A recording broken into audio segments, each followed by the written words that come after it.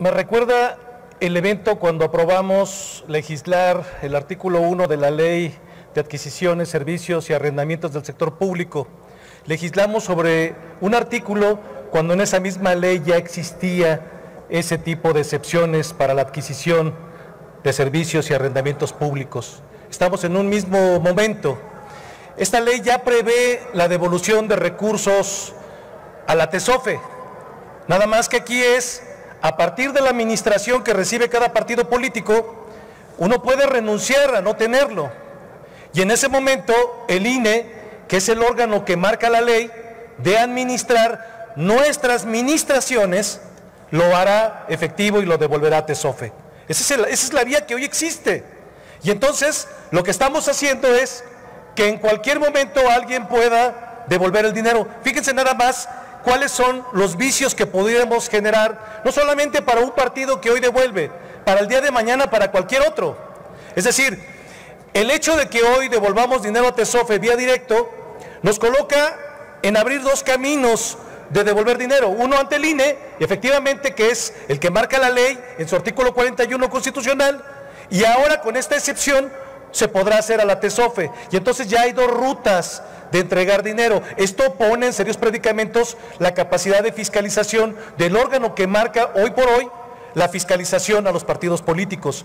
Y no garantiza que la TESOFE haga una buena distribución, porque la TESOFE lo único que va a hacer es darle el dinero a la Secretaría de Hacienda de Crédito Público para que ésta, si así lo requiere y si así las circunstancias lo dan, distribuya o etiquete ese dinero, en el mejor de los casos, cosa que no garantiza este dictamen. ¿Por qué?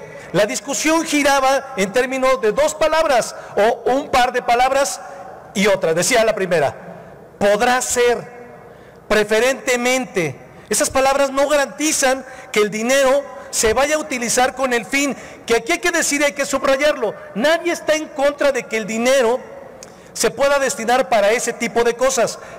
Pero la precisión que habría que hacer es que si nosotros vamos a desvirtuar lo que ya hemos hecho por muchos años, que es acotar las funciones de los partidos políticos para que no se haga ese tipo de compras o que pueda donarse el dinero para ese tipo de beneficencias o de altruismos, lo estamos volviendo a abrir.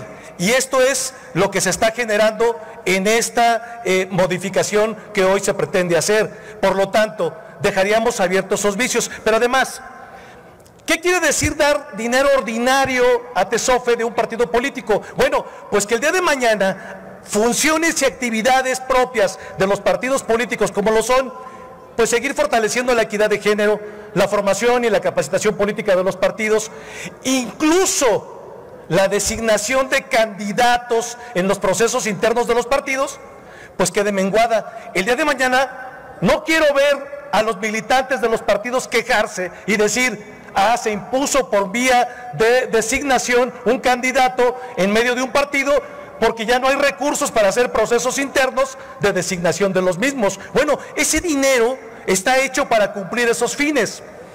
Bueno, pero si este fuera el caso que queremos fungir como altruistas los partidos políticos en eventos que además son extraordinarios, ni siquiera quiere decir que todo el tiempo vayan a suceder ni en qué momento sucedan. La pandemia es excepcional. Estamos legislando un evento extraordinario como si fuera a ser permanente. Y entonces yo me pregunto, ¿por qué se quitó, se eliminó el FONDEM? Si ese era el vehículo para poder asignar recursos, prever calamidades, prever contingencias, ¿por qué lo quitamos? Estamos haciendo un mini FONDEM por un asunto. Bueno, si fue por corrupción, bueno, pues que se detenga, que se tenga que detener. Si es el nombre el que incomoda porque pertenece a otro sexenio, que se le cambie el nombre, pero que se restituya un fondo que permita al Estado, porque esto es responsabilidad del Estado, no necesariamente de los partidos políticos. Corresponde a la Rectoría del Estado subsanar ese tipo de eventos y no lo hay, no lo tenemos. Entonces, a ver, yo cerraría con esto.